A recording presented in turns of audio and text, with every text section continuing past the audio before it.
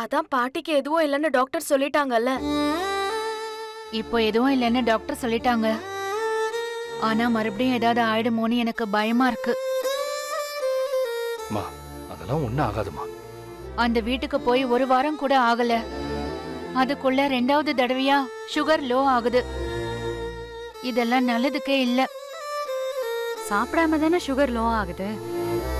அவங்க என்ன சாப்பாடு கொடுக்காமலையா இருப்பாங்க? அது எப்படி கொடுக்காம இருப்பாங்க? ஆமா ஜெனி. எனக்கு அப்படி தோணல. அவங்க கொடுத்துருப்பாங்க. ஆனா பாட்டி தான் சாப்பிடாம பிடிவாதமா இருப்பாங்கன்னு நினைக்கிறேன். அப்படியே இருந்தாலும் அப்பா எப்படிடா சும்மா இருப்பாரு? அதெல்லாம் கண்டிப்பா ஏதாவது சொல்லி சாப்பிட வைப்பார். அங்க என்ன நடக்குதுன்னே தெரியல.